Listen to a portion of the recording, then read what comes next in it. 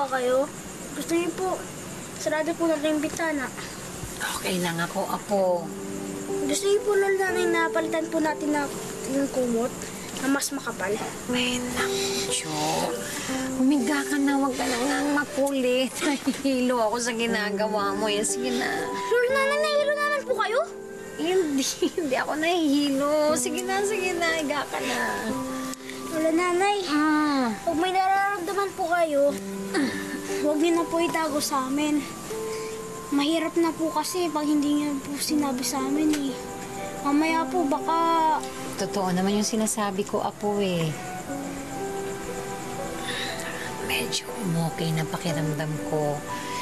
Bukas makikita mo, magaling na po ako. Paano po pag hindi? Ay nako, kung hindi ako gagaling bukas, papacheck up na tayo sa doktor. Promise po yung lol nanay. Promise. Ay ka na. Ito ka na, Nika. Tulog ka na, dali.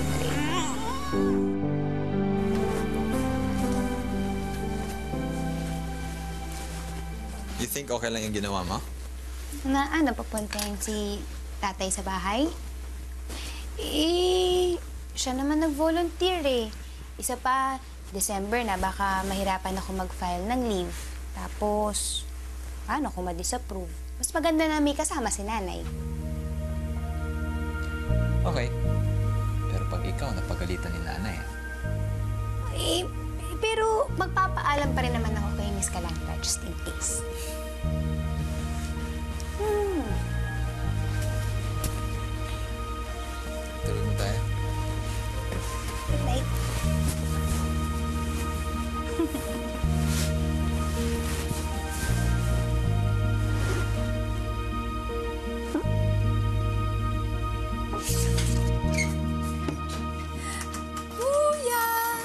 Ricky, basta-basta na naman pumapasok. Ano yan? For you? Eh, naisip ko lang baka magutom ka while studying. Hindi mo naman kailangan gawin to, Nikki. Look, kuya, I'm sorry for making pakialam. Promise I won't do it again na. Ay, nako. Sige na. Alam ko naman di mo naman panindigan yung pangako mo. Fine. E di I promise na whatever chismis ang marinig ko sa'yo, I won't tell dad na. Salamat, Tex. Ay, kuya, Bakit talagang bumabawi, ah? can you give it to Nicolo? What? What's with the reaction, kuya? Di ba dati ko pa naman yan ginagawa? No way, Nix. Eh, sige na. No.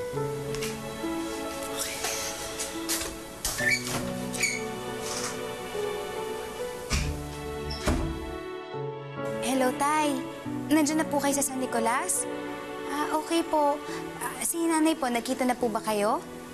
Ah, hindi pa. Eh, baka natutulog pa yun, Tay. Gusto niyo po ba na tawagan ko na lang? Ah, wag na po. Okay. O sige po, Tay. Mag-iingat po kayo dyan, ha. Maraming salamat po ulit. Sige, Maya. Salamat. Bye-bye. Basta dapat daw, laging nakataas ang paa. Oo, yun na yung ginagawa ng mga bagong kasal dun sa amin. Eh, teka, Sabel, paano? Oh, ganito, taas ang paa. Yan, yan. Yan, yan, ganyan. Oh, basta ganyan daw. Itataas ang paa mga isang oras araw-araw para mabilis mabuntis. Effective daw yun. Yan, yan. Sa bagay, Sabel, mukhang effective nga, oh. oh, tingnan mo. Oh, oh, wala pang tatay pero parang six months na yan. Tiyan mo, ah. Che! Talaga? Okay. Aw, kayong dalawa talaga sa ginagawa niyo yan, mas una pa kayong mabubuntis kesa sa akin. Baka po ako, pero ito malabo eh. Tingnan nyo naman, isang oras na itataas ang paa. Hirap eh. Nine months pa. Cho! Cho! Apo! Yan, ayan. Ayan, okay mantika. Yan. Cho!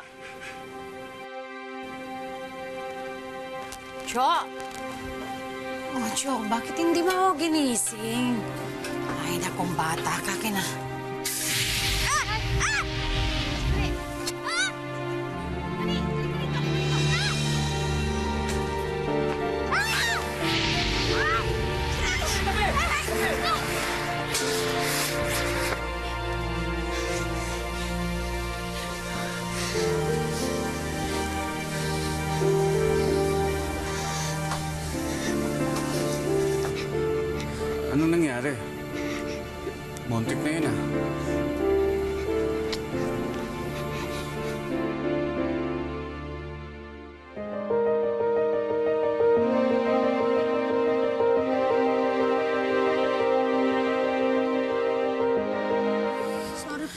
lol nanay ah.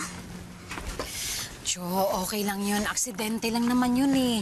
Pero sa susunod, huwag ka na magluto mag-isa. Hindi mo pa kaya yun. Bata ka pa eh. Salamat po, Lola Arturo. Buti na lang po, dumating po kayo. Ano nga palang ginagawa mo dito? Sisilipin ko lang sana kayo eh. Nagkasakit ka daw.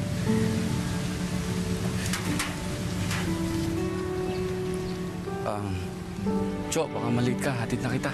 Pero wala pong kasama si lola nanay. Sige na, Cho. Sige na. Malilate ka. Sige na. Sige po, babay po. Ingat.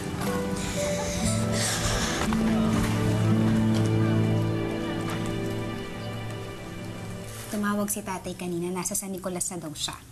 Really? Ang bilis ah. Oo nga, eh gusto ko nga siyang tuksuhin eh. Alam na ba ni nanay? Nagte-text sa akin eh. Eh ayoko naman siya i-text kasi baka mamaya ma-obvious niya na ako'y may pakana ng lahat.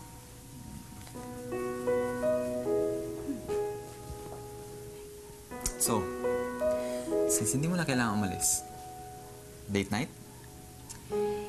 Eh hindi pa tayo nakakasigurado eh kasi baka mamaya ayaw ni nanay na nandun si tatay. Papayag yun. Eh yung mga bata walang kasama. They can manage. O sige, date night. Pero sa isang kondisyon, kailangan samahan mo muna ako mag-grocery. Ha? Hmm, kasi may bibilin ako eh. Ano mo naman? New matching mugs? Ay, tama. Binigyan mo ako ng idea. Pwede idagdag sa listahan. Yan, ganyan. Okay ka talaga. Uy, best friend! Ano ba, kakapati lang natin. LQ na naman. Tigilan mo nga ako. Ano ba kasi gusto mong gawin ko? Promise, babawi ako. Ano gusto mo? Mag-review ako. Sasama tayong dalawa. Aral tayo sa inyo. Gusto mo lang pumunta sa bahay eh. Hindi ah. Best friend ano, friendship over na ba to?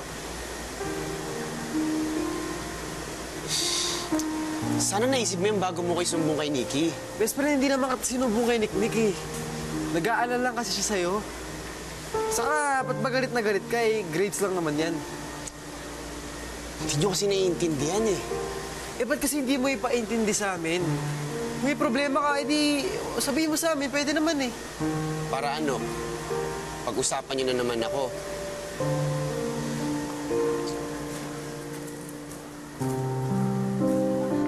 But Nicolo, why does he keep pushing people away? Kuya's so GRRR talaga. I'm sure it's not really about his grades lang. I'm sure inis lang siya kasi we're still talking. Really? Sa bagay, he was bothered na naman kahit you weren't talking pa. So what's your plan?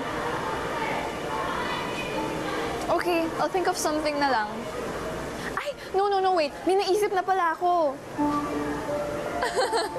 I know,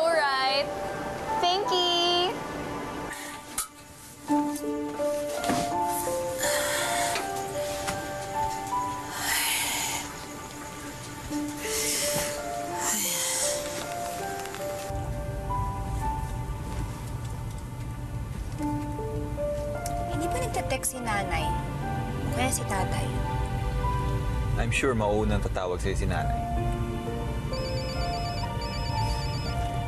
Iyan na nga. lagot ka. Hello, Nay?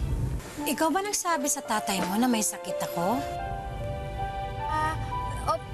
Kasi po, kagabi, tumawag po si tatay, tapos nangangamusta po siya. Tapos sinabi ko nga po na uuwi ako dyan dahil nga may sakit po kayo. O tapos, eh, bakit siya ngayon nandito? Eh, kasi po concerned siya. Concern? Opo, Nay. Um, kung sa bagay na, walang mag-aalaga dito kay Cho, tapos ikaw hindi ka naman basta-basta pwedeng umuwi dito, di ba? Eh, yun lang yun nak, concern siya. Concern siya sa inyo. Yun lang yun nak. Galit po ba kayo, Nay? Eh, hindi, hindi ako galit nak. Nabigla lang ako. May nararamdaman po ba kayo? Nararamdaman? Opo. Kung masama po ang pakiramdam ninyo. Nak, hindi, okay na ako. Okay na ako. Mamaya magpapacheck up na ako eh. Okay po. Maigi po yun. Ah, teka nga. Maya, alam na ba to ng kapatid mo na andito ang tatay niyo? Hmm, hindi po, Nay eh. Sige, wag mo munang sabihin ha. Baka biglang sumugod yun dito, mag-aaway pa sila ng tatay niyo. Eh, pero Nay, Nak, sige na. Ako nang bahala sa kapatid mo. Ayoko lang kasi ng gulo na Maya eh. okay po. Sige. Mukhang meron ka pang ginagawa yata. Babay na. O sige po, Nay. Magpahinga po kayo, ha? Sige na. Bye-bye.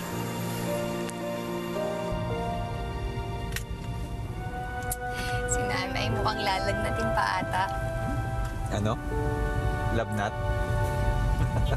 Ay, ikaw ah, lagot ka. Sasabihin ko kay Nanay na nakikihirit ka din.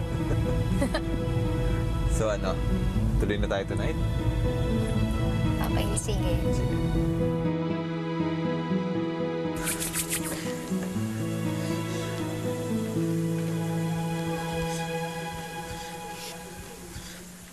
Nay Teresita! Nay? Bugoy, Ah, kunin ko lang po sana yung ano, isang kaldero natin. Kasi ang dami pong customer sa baba eh. Okay naman po pala si Bong Arturo eh, no? Pagdating niya po, halos dumoble po yung customers natin. andyan siya? Opo! Eh bakit hindi niya sinabi sa akin andyan siya?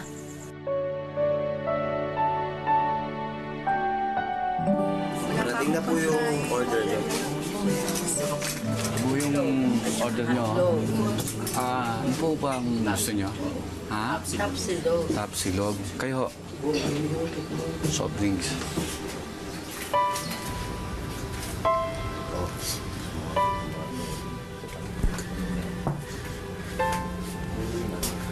Pwede ba tayong mag-usap?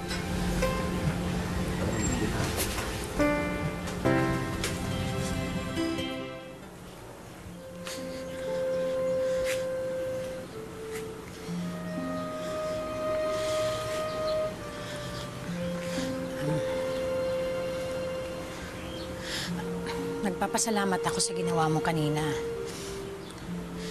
Pero ano ba naman yung nakain mo?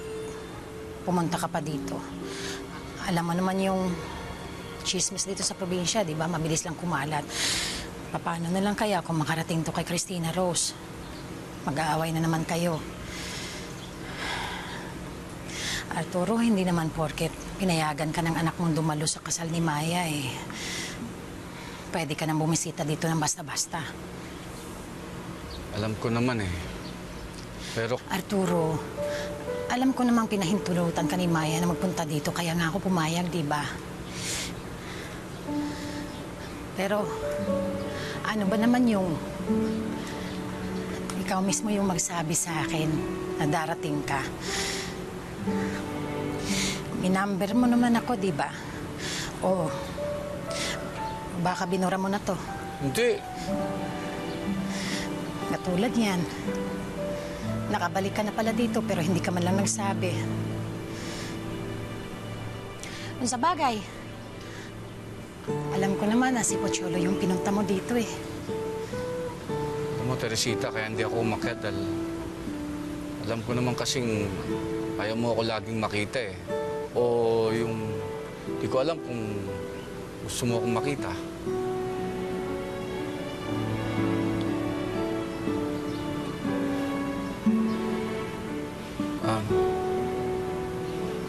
Ka na ba magpa-check up? Magbibihis lang ako.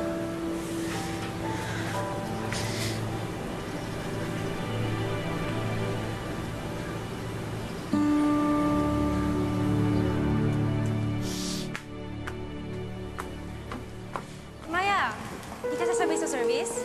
Ay, hindi na. Kasi susunduin ako ni Ricky eh. Pupuntahan kami. Nax, date-date pa din kahit pag-asawa na. Siyempre, ganun talaga. Decidido magkaanak eh. Ano, Maya? Kayo talaga, hindi naman puros pag-aanak lang ang buhay may asawa eh. Tama. Sige, paano? Mauna na ako ah. Bye-bye. Ingat. Oh, Bugoy. Po.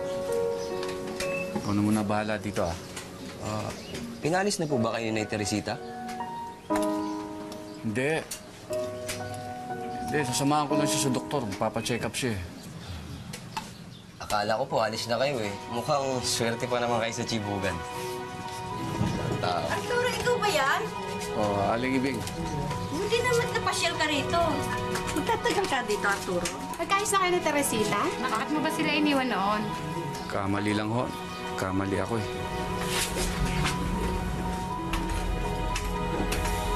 Arturo, ka na.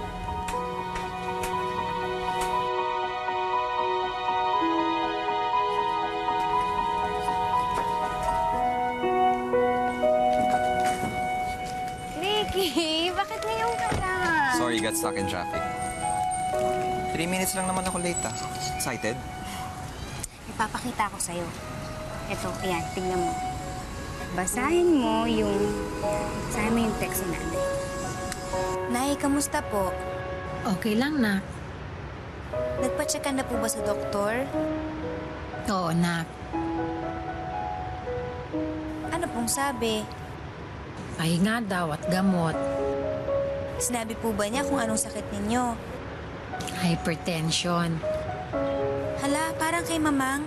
Nay, ano pa po ang sabi? Delikado po ba? Kailangan niyo po ba magpa-check up dito sa Maynila? Don't worry about nanay. She can take care of herself. Hindi naman sing tigas ang ulo niya kay mama. Ricky, alam ko naman yon At hindi rin naman ako titigil ng pagpapaalala sa kanya inumin niya yung mga gamot niya. Kaya lang, tingnan mo. Tingnan mo yung mga text. May kakaiba. Tingnan mo yung mga sagot niya. O halos, okay lang, nak. O, oo, nak. Puro ganun lang. And? Hindi ganun mag-text si nanay. Hindi kaya dahil kay tatay. Hey, what are you doing? Tatawagan ko siya. Let her be muna. I'm sure she has a lot to process. Lalo na after seeing Tay Arturo again. Sa tingin mo dahil kay tatay? I think so. Busy siya kay tatay? I don't know. And what's that all about? Hindi kaya kinikilig si nanay kay tatay? Halika na.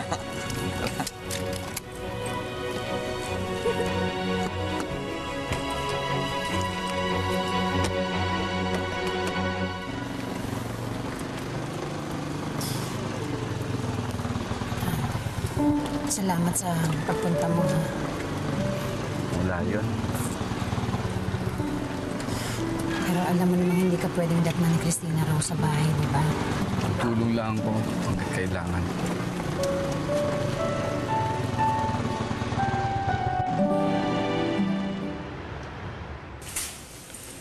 Susumbong kita kay nanay kung anong iniisip mo sa kanya. Ah, ganon. Sige, pag sinumbong mo ako kay nanay, sasabihin ko, tayong dalawa yung nag-iisip nun. She won't believe you. Ito, ito, ito. Yeah. Tayo pa ba bibili nito? Pwede na natin iutos kay Isabel. Eh, hindi na. Andito na rin naman tayo. Tsaka ito, konti lang naman to eh. O tama, shampoo, check. Finally. Conditioner, check. Toothbrush ni Abby, check. Shaving cream mo, check. Fruits, check. Meron na tayong bread loaf. Laman egg milk, check. Ay, isa na lang. Pero dito ka lang, ako nang kukuha. Sama na ako. Hindi na, hindi na, hindi na. Magkita na lang tayo sa counter, okay?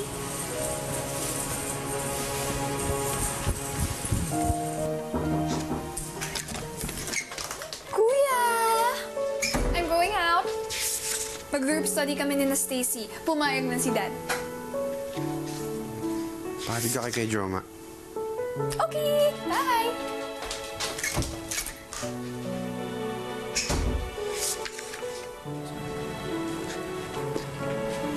Oh, you go in na. Kuya's in his room. Sige, ingat ka ah. Mm, make sure you and Kuya are gonna be able to study, ah. Sige, akong bahala sa kuya mo. Okay, Ay, thanks. sige. Oh, sa'yo na. Bye-bye.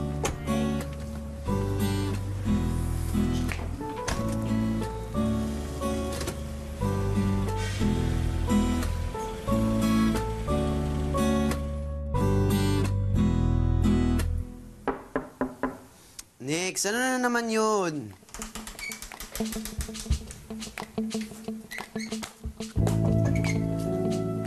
Ano ginagawa mo dito? Best friend, alam ko bad trip ka sa akin. Pero may best friend tayo kaya dapat stick together tayo, di ba? At para patunayan ko sa'yo, na ikaw ang pinunta ko dito, tinahimingan ko na wala si Nick Nick. Alam ko naman na nagsiselos ka kasi. Hoy, hindi ako nagselos, no? Sus, best friend. Siloso ka eh. Tuloy nga. Alam mo, umalis ka na, lumabas ka nga. Ang pururot pa siya. oh. Tara na, best friend. Tara na. Tol, seryoso ako.